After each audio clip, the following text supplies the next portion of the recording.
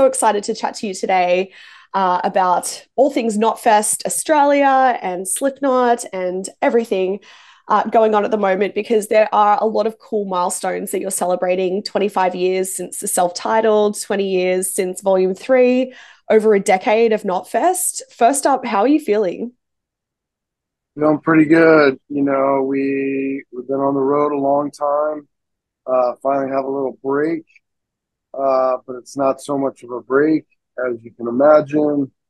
Uh, we've been rehearsing, um, practicing. Um, as you know, we made some adjustments uh, to our lineup and our thought process.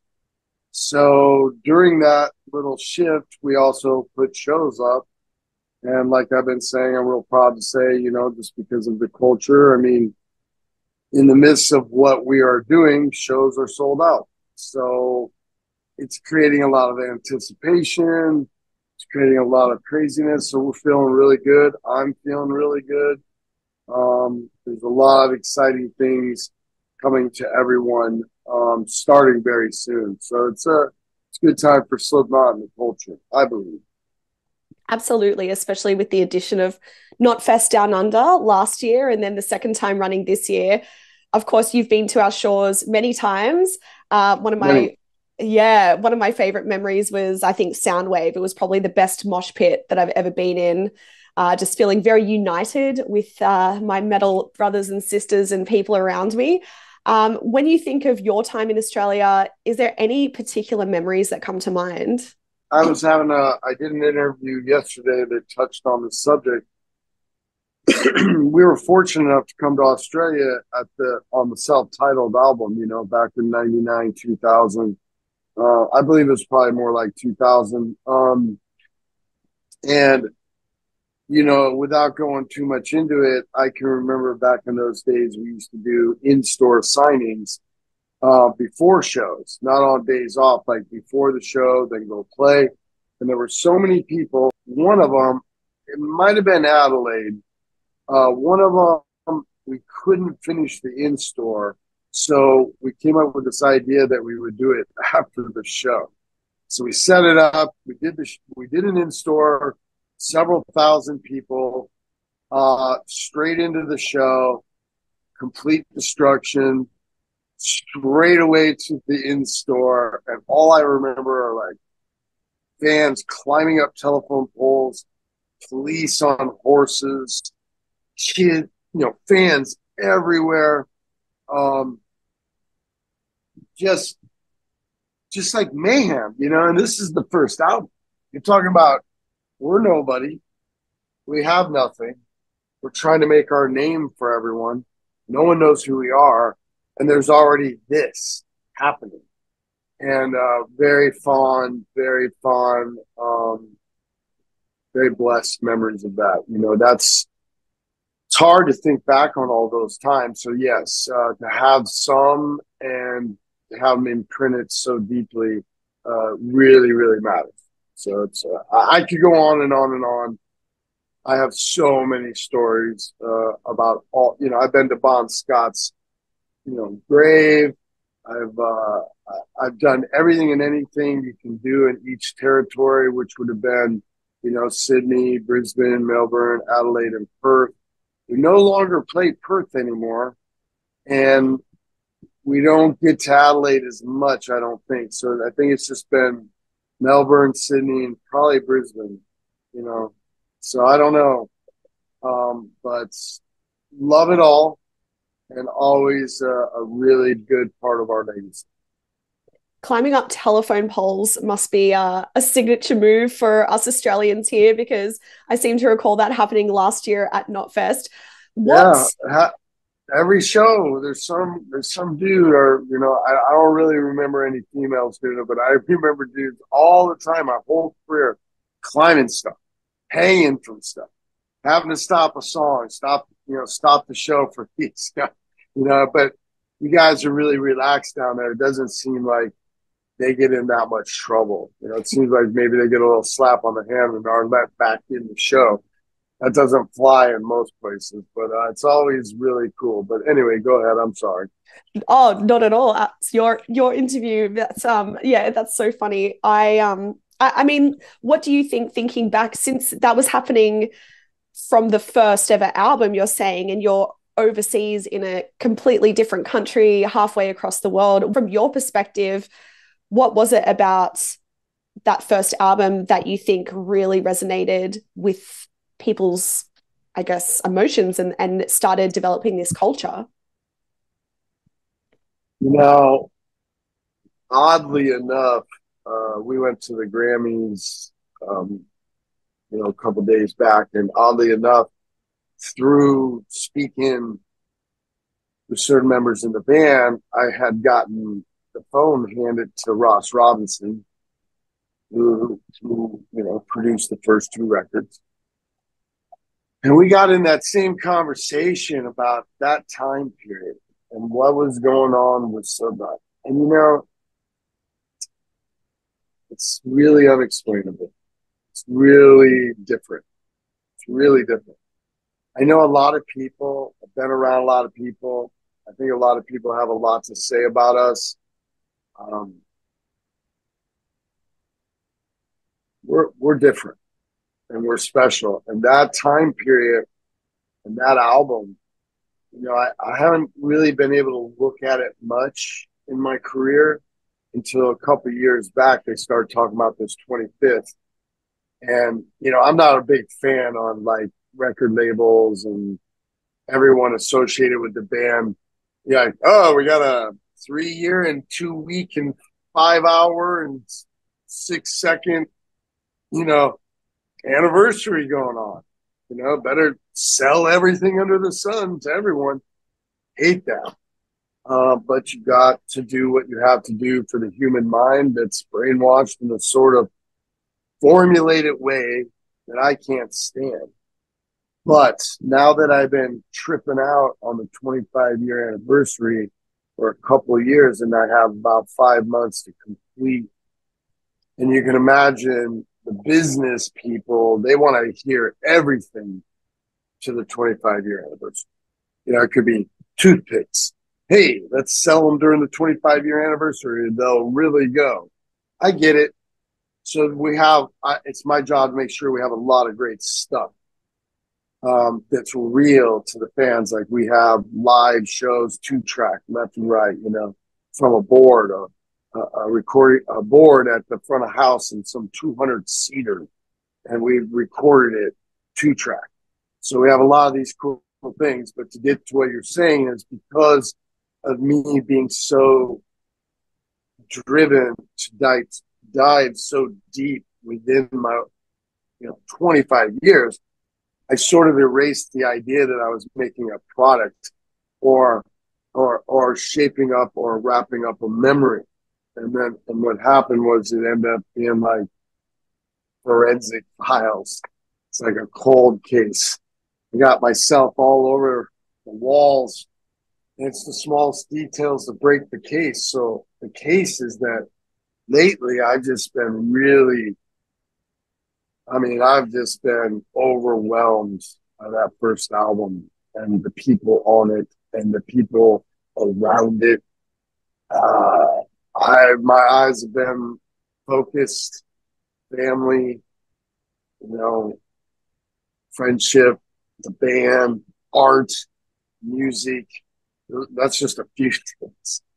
Uh, that's what I've been trying to focus on for 25 years. But now I'm dead in my tracks, just thinking a lot about Paul, thinking a lot about Joey. Um, I, I'm telling a lot of people stories right now a lot of people in the world have a lot of idea what a lot of ideas of what they think it is, and I understand. You know, loss is an incredible thing.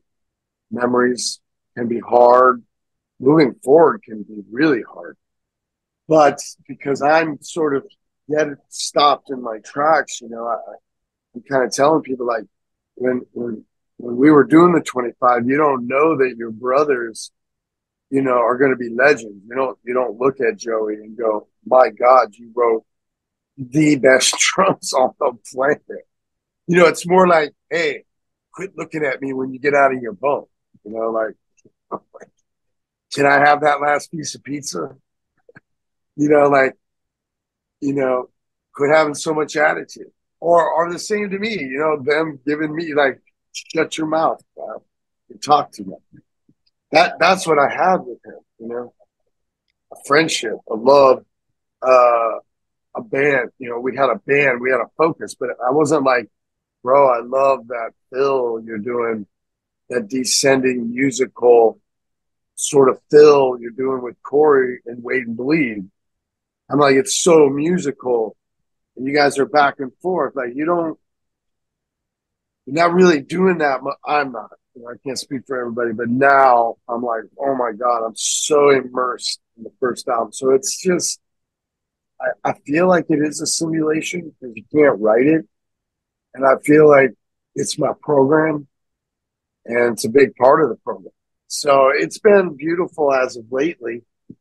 Uh, I took October Gray, Paul Gray's daughter, to the Grammys. Um, she's 13. That's and amazing. I've been, re- yeah, recently I've been reunited with her. We've had a real hard time um, making our lives communicate. And lately we changed that and we've been brought them together. And anyway, I got to take her and it was, it was, it was great and it was hard because when I found out October was 13, I hadn't realized that Paul had been gone for 13 years. I just chose not to, to uh, calculate those numbers in my brain. It's just another day. We're just moving. Is right here. so as of lately, I have been immersed in feelings and emotions and uh, memories and just just epiphanies of what we were and just how important that time frame was for us and for everyone that is in this with us and i'm just so blessed to have had that be my life yeah amazing and that perspective must i mean it sounds like it's it's only something that you could have got with with that perspective, I guess, looking looking back. Yeah, it's sure. um a lot of good a lot of good things coming for everyone. As you can imagine, I've hoarded my own art. Um, so I kept I have hundreds, if not thousands, of videotapes. Um, you know, reel to reels, DATs, tapes, you know, SD cards, like I, you name it, Polaroids. I have thousands of 35 millimeter cross process infrared film, you know, because I used to take chances. So I sometimes I pay up to $70 a roll of infrared film and then have Stefan Seskus, who's my mentor, who I take on the road, he'd zap and then we'd take it into process and we'd cross process and just ruin it. You know? Well, it's not ruining it, but just cross process it and that changes the white in your eyes black and you know you can't you you can't reverse that i i took those chances then they're there and everything's just sitting around and um, i'm having a good time getting in and um, looking at all it's pretty heavy it's pretty it's pretty phenomenal and then on the other end of it because all the businesses are always doing anniversaries um, you kind of lose track. You're like, oh, you know, all hope. Oh, point, blah, blah, blah, blah, blah. It's like nothing matters because it's like this year, that year, three years, four years, four and a half years. But you brought up earlier, I'm really proud of. It's very fun for me to be working so intensely on the self title and at the same time getting ready to celebrate volume three. And I was exp- explaining this yesterday, is that Slipknot self-titled and Iowa sort of sort of go hand in hand because you have your whole life to write your first one, and the stories are unexplainable for that. And then Iowa is the aftermath of what happens to you after you uh, make your first record. They give you no time they say, get this done. You're the Roadrunner's first platinum act. Um, you've taken over the world, so to speak. and all these eyes are on you and all these expectations. So you write a little album, you know, a collection of records known as Iowa. And you you you you started off with our area code 515 where we live. And you have Sid Wilson bawling his eyes out for family matters, caught by Ross Robinson, right into people equal shit. So those two albums are like yin and yang, if you will. Okay, so they're they, you know both done by Ross, and it's kind of like hello, and then sort of like this is what happened in those two records. So it's really special for me to say, okay, that's a thought process. Let's start a new one. The new one being Volume Three, Subliminal Verses. Six and a half months at the Houdini Mansion with Rick Rubin. I'm a huge fan of Rick Rubin. I believe you choose your um, you choose your involvement with him. If you choose to be involved in the way that it is, then your rewards are rather large. Uh, you know, like anything in life. So uh, I have a billion stories about that. Um, as everybody knows, there was some sort of shift musically, why wouldn't there have been? You know, you go from Ross Robinson to Rick Rubin, which it, it's only paintbrushes, right? It's all speculative and subjective. There is no better or worse. There's just what's best for the song in the moment, and you just hope everything's in line. Can't expect everyone, but that album is one of my favorite because the first two you can't explain. You're like, you can't, you can't divide those two. You can't can't like bid them up against the rest of your stuff. They're their religion, they're me, you know. And the third one is sort of like planting your feet and like going, okay, you know, we had burned so many bridges by the end of Iowa. 9 11 happened. Everything was shut down. We only toured for seven months. Three of them was before 9 11. Uh, we had quit middle tour, Pledge Allegiance with Rammstein, um, System of the Down. I don't know, I don't remember how many shows we did, but it wasn't that many. And then it was done, and we were done, and we uh, we uh, we let go of someone in management, and all hell broke loose.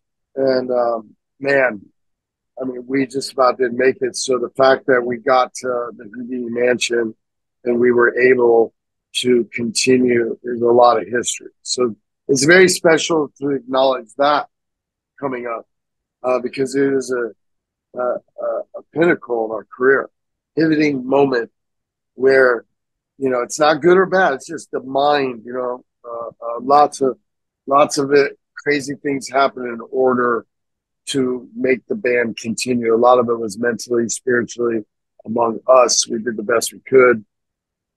For all I know, it was all my fault. You know, I mean, I'm I'm older and wiser now, and I'm able to look back and I'm uh, I'm pretty um, upset with myself on certain ways I held myself. But you know, we wouldn't be where we're at if all of us weren't what we were when we were when we were. so anyway, not like I just kind of went a long way with that because you brought it up and it's kind of touching base on volume three, subliminal verses, a little bit on Iowa because I feel so strongly that it's connected to the self-titled. And as you know, in June, it'll be 25 years, almost half my life to one thought process that I created with Paul Gray and others. And um, here we are, relevant, still kicking it, having a great time. Um, we got our own festival, bringing it to Australia again, and um, it's really just a thought process for everybody uh, because you know we need a little time before we come back. So it's always good to just keep. You know, people need the energy and vibration of the rock we can bring. So it's like, why not? It's really hard to do, and you can imagine it's really hard for us, being from the states, and just you know there's a lot of extra hours time and monetary aspects that go into it that normally wouldn't if it was in our backyard so it's labor it, it, it's all everything we do is a labor of love but that's just because we love it i'm not trying to say it like Ugh. it's not worth doing, but it totally. is all worth doing. Yeah, it's all worth doing because of the love. So anyway, hopefully yeah. that answers a little bit of all that stuff. Oh, absolutely. And one of the things that I think Slipknot does particularly well is create such an immersive experience and just listening to you reflect and see how immersed um, you're getting into that reflection and into those you know in in particular you were talking about the first three albums and that just kind of echoes out into the stratosphere in um, creating Knotfest and the immersive experience that you uh, wanted for Knotfest. And the first Knotfest was in um, 2012, and you actually had Lamb of God on the bill, which Lamb of God are playing here in Australia as well, of course.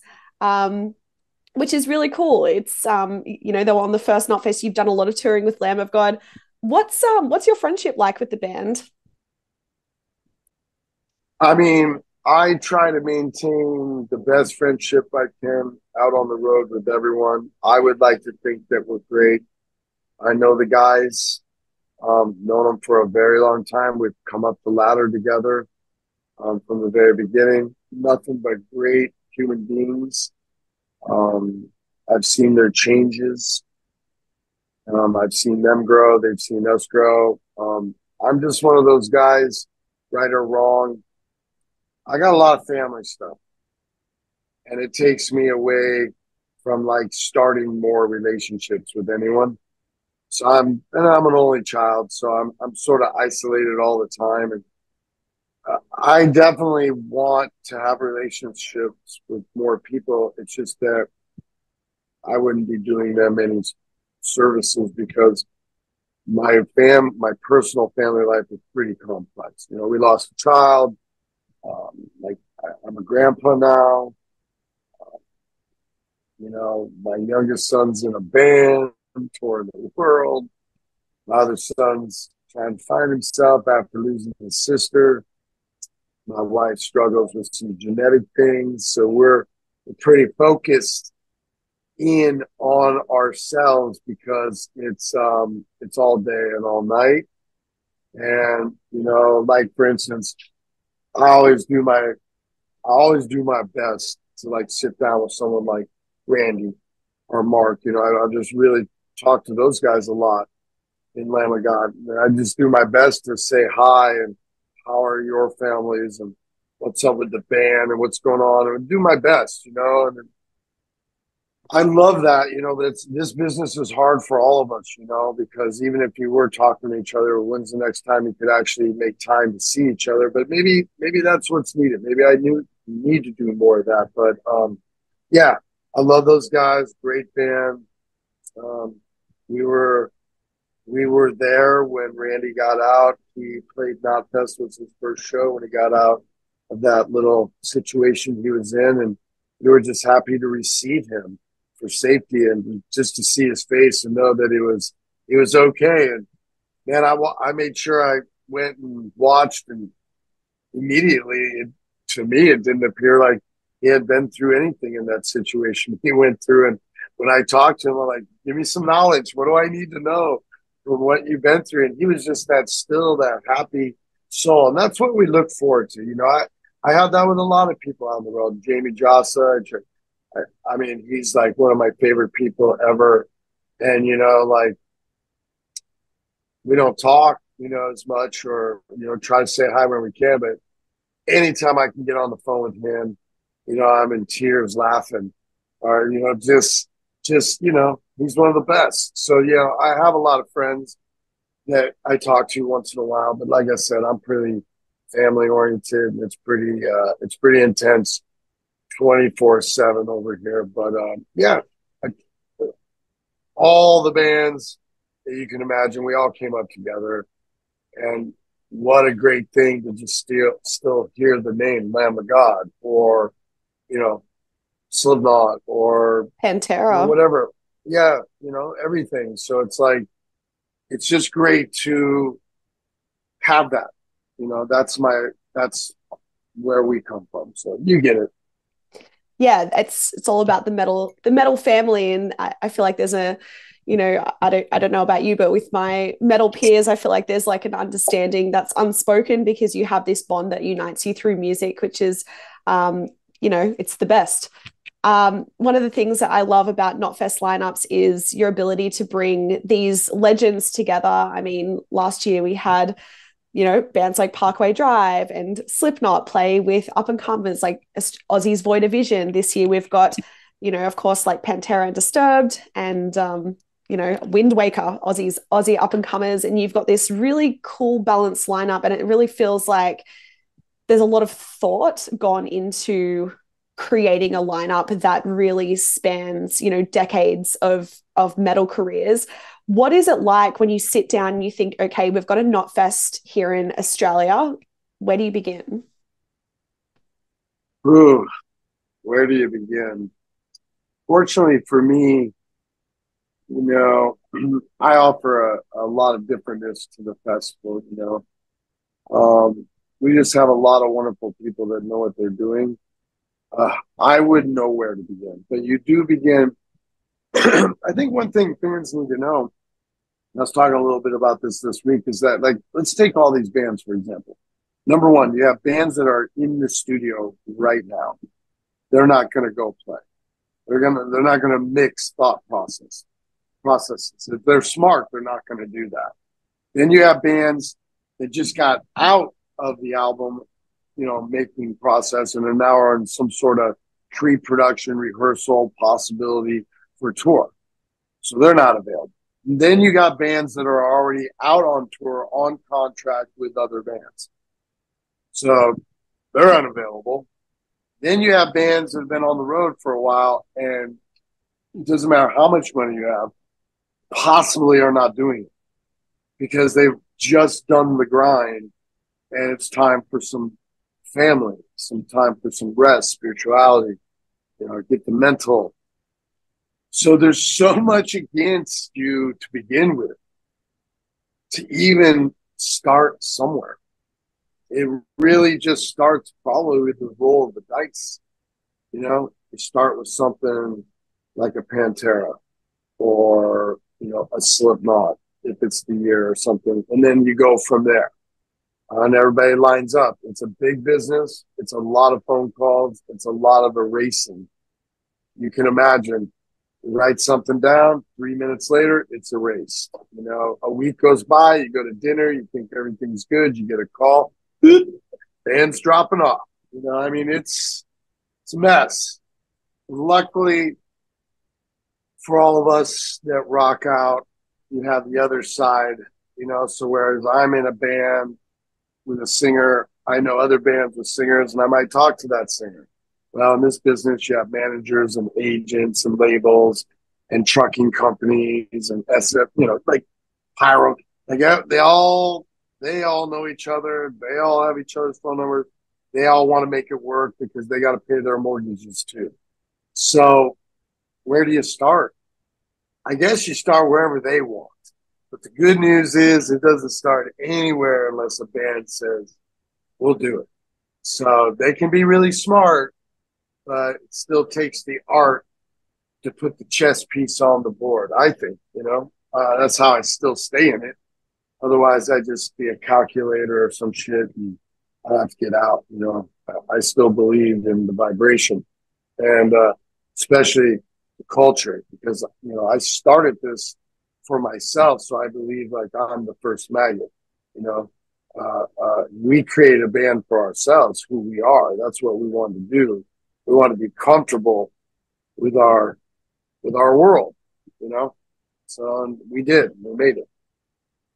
Absolutely. And I know that also, you know, one of the things that you're involved in is creating creating that immersive experience and the you know the artwork and and how things are going to look and and the creative sides of things um, what do you enjoy most about putting this festival together well i like it when my partners and everybody give me a little loot to do just what you said you know make some cool stuff and do some things but it's all dollars and cents we've tried a lot of things you know i I used to have a lot of fun in Des Moines, Iowa. The fair, the uh, Iowa State Fairs in the summertime. And they have this famous ride. I always call it the death wheel. And it's the ring of fire. It's just a circle. And you get in it, and you go whoop, and then you go like this, and then you go uh, like that. They stop you up top, and all your money falls out, your phone, and it's all over the place. And I'd always make my tech write it for me because I'd have to play and I'd be doing VIP. And he's, you know, a bigger guy, muscular and stuff, and he can barely fit in this thing. He's scared to death of it. And I'd make the carny guy stop him up there longer. And so we'd have fun and the and the fans would have fun. It's a crazy ride. A little dangerous. I don't know, just old. Not dangerous, but like just you know, like, whoa, that's that's some crazy stuff. So we've done a lot of different fun, odd stuff. Try different things all the time. Keep it going. As you know, the thing I'm most proud of. And it's really, you know, I'm going to say it here first. I'm really, really, really, I, I am. I'm going to say it here first. Um, I'm really proud of uh, the museum that I put together. And I can say I, because I've had so many people look me in the face and sort of say like I was dumb and sort of stupid for thinking these kinds of things. And it's okay. I've had that my whole career. And I do mean like stupid, you know, because a lot of people might think money, you know, it costs money to put a mask that I've held uh, for 30 years or, or 25 years or whatever and put it in a little case for all the fans to see, you know, I guess that's going to cost some money. So people whinge, but I'm most proud of being able to supply the thought process of the past and tangible items. I'm a fond believer of the subconscious, the idea, bringing it to the consciousness, bringing it to reality, holding it in your hand, potentially tasting it, smelling it, breaking it apart, reassembling it, whatever. So I've kept all this, uh, the, the, what I could and what made sense. So we try to bring that. It's very hard to do. Uh, to bring everything I have, they got it's got to go in sea containers. You know, possibly take on pirates out in the ocean. Get get to Australia, and then forklifts, people that want to understand instead of go, this is a bunch of junk. We do. We have people now that travel with it, that take care of it. We have it organized. We have an uh, idea, you know, but as of lately, you know, a lot of people just want to take, man. They, they, they people have taken from the museum.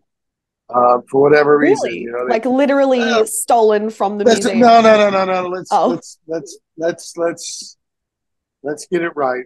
Let me get let me get it right. Uh, so the stuff that I own, okay, and I say own, that doesn't really matter to people. That you know, Slipknot owns. Um, so lots of stuff has been stolen, and lots of stuff has been taken, and both are fine with me in my opinion, because if you need it more than I do, you should have it. You know, you should have it. So that's my little thing to the world. I hope everybody believes me on that. You know, it's a hard thing to go through that stuff to have something uh, yours taken from you, and and you know we all know what that's like. You know, but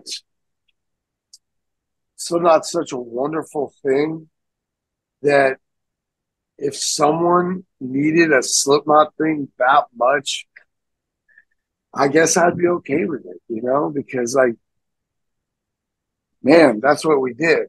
Doesn't make it acceptable or like giving the right to continue to do it.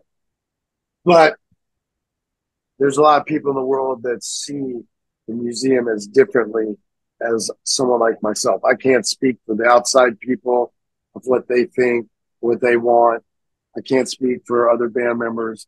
I can't speak for the fans. I can only speak for me, the guy who came up with the museum, the guy who set it up with other people that believed in it, who listened to me and added to it. I didn't come up with all of it. It took a group effort, but I am really proud of being noticed that we have our own little flair of feeling and art and things that you feel when you go in. You know, you're like, okay, I got these great bands. I'm here with my people. You know, we all know what it's like to go to the same venue over and over and over again. It becomes, we become institutionalized to it and we realize that, okay, the parking works here. The band is here. I, I know what tickets I want. So I'm not as hard on it as I used to be. I used to just be really difficult with those, those kind of, those, those feelings, you know, but now I'm like safety, organization. It's my job to give it a skin, a face, a feeling, a smell. So the museum, I'm really proud of. Um, here pretty soon, you know, I'll just put it out in the airwaves. You know, if you got Slipknot stuff that you're proud of, give the clowner, give the clowner a, met you know, get a hold of the clowner, and we'll make sure we uh, display that stuff. It's for all of us. It's not um, for anything else than for our culture to be able to walk in, smell, touch, taste. If you've been at a VIP thing where I've walked around and been in a museum, you know that I've cried. You know that I've been in there and had to take a moment and cried over a shoe or a stick or obviously a mask from a brother who's passed or a brother who's in still, or a guitar with original strings on it, or a carven head that was used for recording songs. This shit's personal to me. And if you're not in the band, you need to fuck off.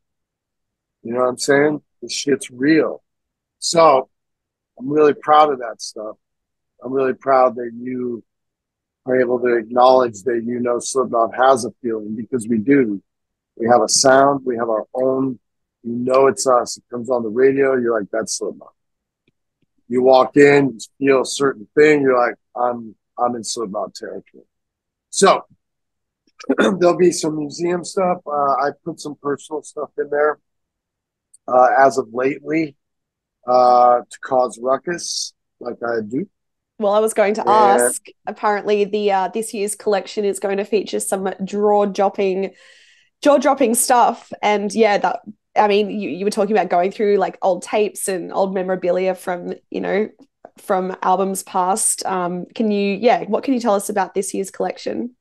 Well, like I said, as of recently, things have, uh, you know, gone to their rightful place, if you will. You know, in my opinion, things have been adjusted, and that makes me, the clown, go in real deep. That makes me go, into my stuff. And then when I go into my stuff, it's the only stuff really needed because it's a lot of your stuff. And meaning like other band members and stuff, stuff that was given to me. For example, I have, you know, I'm blessed to have had a, a piece of paper or two with like a famous song lyric on it that Corey wrote. Just left it. I'm like, you need to take this. You're gonna have kids one day. He's like, no, no, you can have that sheet. So I keep on it. You know, if he wanted for his children, I'd hand it over to him. But for now, I just dig in the, the, the boxes and try to find old stuff that was throwaway that end up being sort of Egyptian tombaish, you know, like real thought process. So we'll we'll see. I've given some of my masks that no one's ever seen um, some really different things. And, you know, like I said, we got a lot of wonderful people that work with the museum. So they organize it and they make it like better to look at stuff. So because we've done it once, we're able to bring a new sort of thing. We brought what was from Japan back, adjusted it, you know, moved things around, got it to where it needed to be to the people it needed to be to. And then now there's a readjustment. Um, more personal stuff, and uh, that got sent off. Uh, so I think it's been on the water for a minute now. I don't know if it's your way yet, but it's it's on your on its way. Well, good to know. Good to know that it's on its way because uh, things tend to take time to get to us here on our big island. I mean, you've created the this band, you've created this festival, which ha- which is its own entity, and then you've also created this media conglomerate with podcasts and daily content. I mean, it's really a metalhead's dream TV station that you've created on knotfest.com. What next do you want to create for heavy music fans? That's a good idea. Good question. I mean, really, my focus is on Slipknot more than it ever has been because I want to go out the way we came in. I want to go out as friends. I want to go out agreeing. I want to go out loving what we do. Um, I want to touch as many people as possible. I'm very excited about the this idea of a new drummer. Um, there's many reasons for it. Um, it's not to be confused. Um, it doesn't matter what the situation may seem like, um, unless you're in the band and understand. You know, there, there's no hard feelings. There never was. We just went our way. Understand? Like, there was really no bad things. That's as much as I can say. Um, what I can say is we just Slipknot decide to, you know, move on. And uh, that's what we've done. And um, I'm very excited for what we have done. And we're really working hard. And, um, you know, there'll be new music, there'll be new masks, there'll be new people, there'll be new ideas celebrating a 25 year anniversary I would imagine there'd be some shows that could be 200 people, 500 people, 700 people, 2,000 people. I heard you mention then, that in an interview, and I thought that was yeah. really interesting. Some some smaller club shows. Yeah, I'm not I'm not interested in playing everybody's games. You know, we we do good. Slipknot does great. Cool. We're going to continue doing great. What I want to do is what I want to do. What I want to do is play in front of 200 people. You know, and I I just say the word I only because I'm not going to speak for the rest of the guys. Um, but I would imagine we, as a unit, would love to see what it feels like to, you know, just give our vibration in a smaller place with an out of control life form, you know, where it's all tangible, where the walls can be seen on all four sides, the ceiling, like I can see the eyeballs in the last row, and like my foot's on a barricade, you know, but our sound is just like shaking the foundation. Um, but it has to be safe. It has to be safe for everyone. And um, I imagine you're going to see that. And how can we do the 25 year anniversary rollout and not play the entire album? How can that? How could that be? I mean, that doesn't seem any sense to me, and I'm in the band, so pretty much, you know, is that done yet? You know, I wouldn't tell you anyway, but you know, but but I would think that that's going to happen. You know, I would think that surprise shows like you're gonna be at work, you're gonna get up and get a coffee, and you're gonna be like, "Hey, it's a good day," and you get to work, and you're like, "Hey, can I help you?" Blah blah blah, blah. and then someone you know calls and goes, tells you that we just said we're gonna be somewhere in one hour playing the first album from beginning to end, and there's yeah. only like 200 people can get in there. I mean, I quit for me.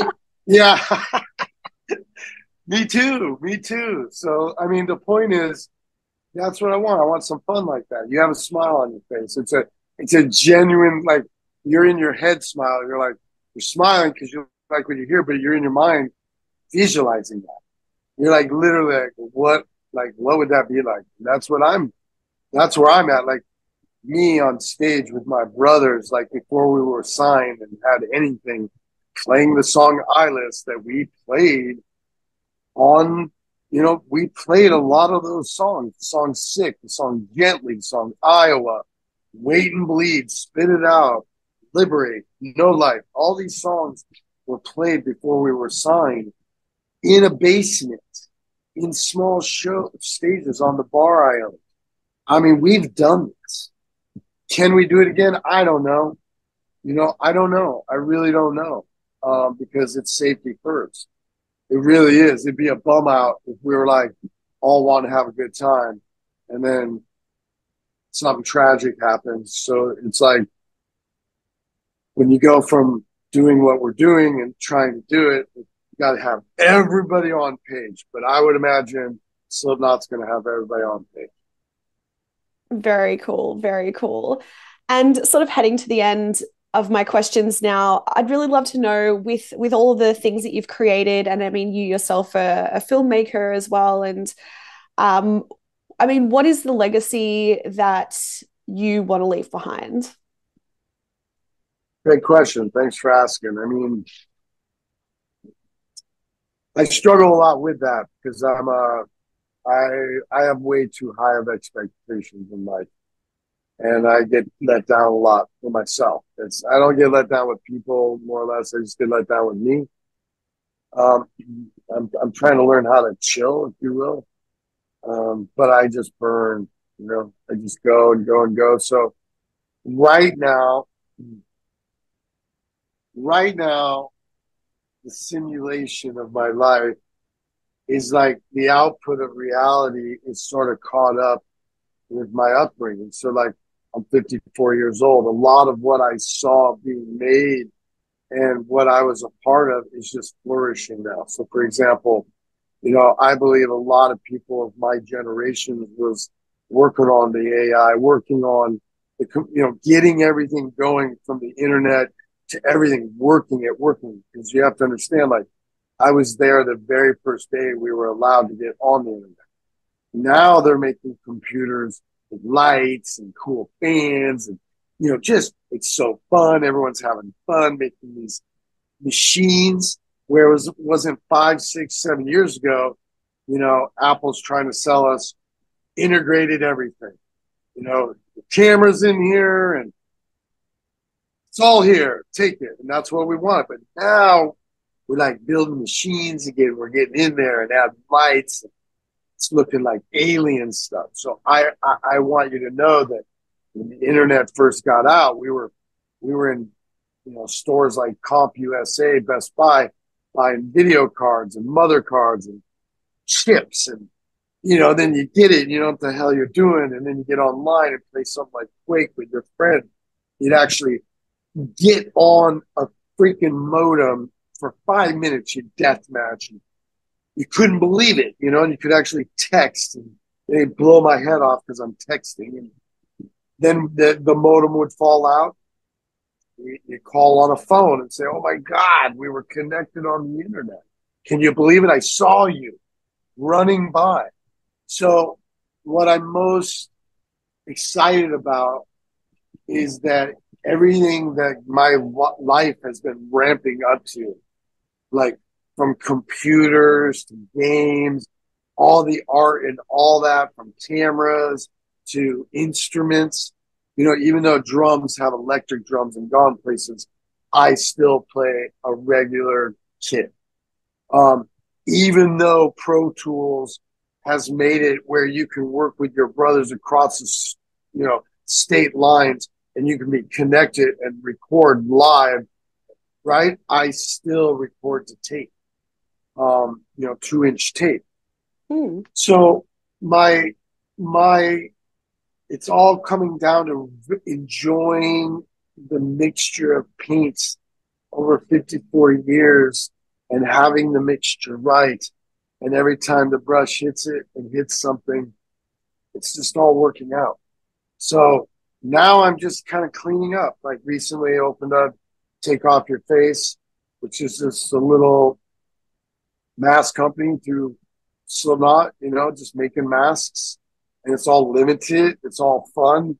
It's really my dream of like getting the fans involved where we do contests and they design and, and we do a limited version of their mask. And, you know, they, they make a little money, but they get their vision out and then we also have it on our stuff. So I'm really, I'm trying to get all the photos, all the audio, all the video, all the concepts, anything that wasn't used, anything that was worked on and almost there, everything and anything that was Slipknot and that is Slipknot, I'm trying to get it in one database. So I have a lot of weird things coming you know, I imagine pretty soon you'll wonder if you're actually talking to a real person because I'm very interested in, you know, AI and robots and and and moving towards the future. So my brain is always going to try to stay relevant where we're moving. And right now, I would love to have another version of me in a robot sense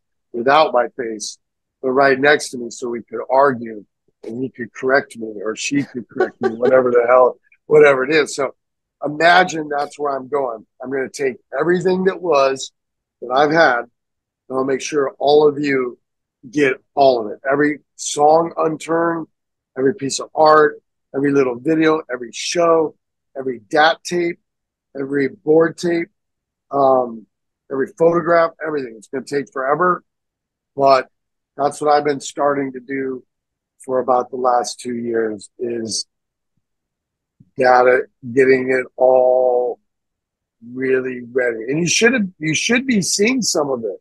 If you're paying attention and you go to the new website, you know, we've, we have things out right now, but there's just so much. Sometimes it just passes you by.